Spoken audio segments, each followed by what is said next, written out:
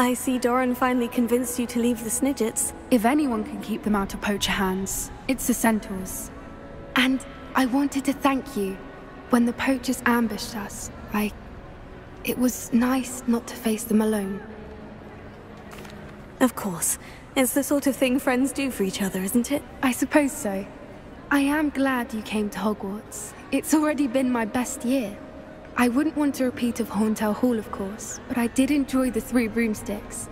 Had no idea how lovely it was there. Had you never been to the Three Broomsticks? I used to spend most of my time with Highwing, and well, I don't know how Sirona feels about hippogriffs popping in for a butterbeer. Highwing's the only one I would have gone with. Or Gran, of course. Nothing wrong with that. Highwing's good company. She is. Although I am beginning to see the appeal of, uh, human friends. It was nice to talk about my parents and Gran with someone. And share Highwing. I don't suppose you've heard anything from your parents, have you? I haven't, but I'm perfectly fine with that.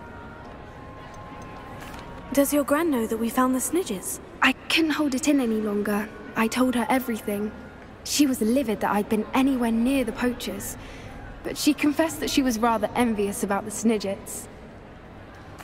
It has all been a pleasure, Poppy. Do try and stay out of trouble. Don't know that I can. We've taken on poachers twice now, successfully. I rather think you've helped me develop a taste for it. And with centaurs as allies, I might actually go looking for trouble. You and I should meet for a butterbeer soon. Perhaps Highwing can join us?